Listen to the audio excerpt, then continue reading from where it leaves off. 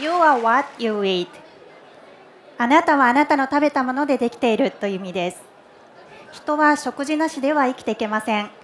食べたものはあなたの体をそして健康を作ります。そうあなたはあなたの食べたものでできているのです。皆さんは栄養学にどんなイメージを持っていますか？健康のために何を食べるかを考える学問。もちろんそれも一つです。でもそれだけでしょうか？では質問です。あなたは昨日何を食べましたか？そしてそれはどのように決めましたか？何を食べるのか？私たちは自分で決めているようで実はさまざまなものから影響を受けています。例えば性格。フィンランドで性格と食品の摂取量に関連はあるかを調べた研究があります。その結果知的好奇心が旺盛な開放性が高い男女。自己コントロール力の高い誠実性の強い女性で野菜と果物の摂取量は高かった。一方で菓子類の摂取量は低かった。という結果が出ました。他の研究でもいくつか同様の報告がされています。もしかしたらあなたの昨日の食事あなたの性格の影響を受けていたかもしれません。あなたを取り巻く食の環境も大切です。皆さんは1日にどれくらい食塩をとっているか気にしたことはありますか？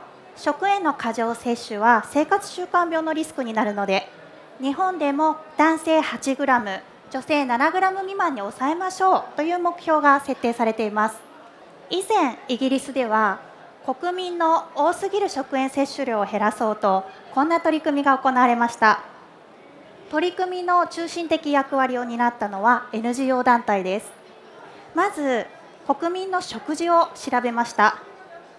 その結果食塩の多くは市販の加工食品から取っていたことが分かりました。そこで食品会社に協力を仰ぎ市販されている加工食品に含まれるお塩を減らすことにしました。このグラフはパンの例です。このように1年で少しずつそれを10年以上かけてパンの中に含まれるお塩の量を減らしていきました。その結果国民は大きく生活は変えていないのに食塩摂取量を減らすことに成功したのです。そしてこのことは心臓系の病気で亡くなる人の数をなんと1年で9000人も減らすことにつながったと試算されています。どうでしょう栄養学。何を食べるのかということに加えてこのようにさまざまな切り口で食を科学していく学問です。それが人の健康で幸せな食生活を支えていきます。栄養学が人のためにできることは無限に広がっています。